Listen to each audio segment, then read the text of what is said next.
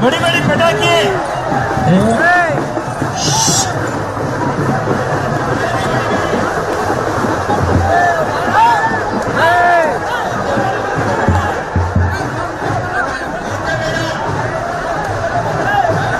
जैसा कि हम सभी जानते हैं कि फेस्टिवल सीज़न शुरू हो चुका है।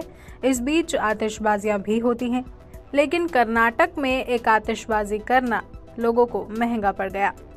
जी हाँ, कर्नाटक में एक बड़ी अनहोनी घटना होने से टल गई। दशहरा कार्यक्रम के दौरान पटाखों से गुस्साया हाथी बेकाबू हो गया। इस दौरान मौके पर भीड़ भी थी, लेकिन गनीमत ये रही कि कोई बड़ा हादसा नहीं हुआ। लेकिन अब इस हाथी का वीडियो सोशल मीडिया पर तेज़ी से वायरल हो रहा है। मामला कर्नाटक के मांड्या में श्री श्रीरंगपटना इलाके का है। दशहरा समारोह के दौरान पटाखों और संगीत की आवाज़ से एक हाथी बिगड़ गया। इस दौरान मौके पर भारी भीड़ थी। वीडियो में देखा जा सकता है कि अचानक कार्यक्रम के बीच हाथी गुस्सा हो जाता है।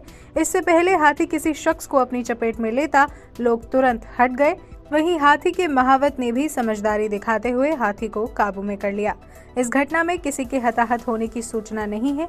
बताया जा रहा है कि कार्यक्रम में हाथी को श्रीरंग पटना से हावड़ा ले जाया जा रहा था।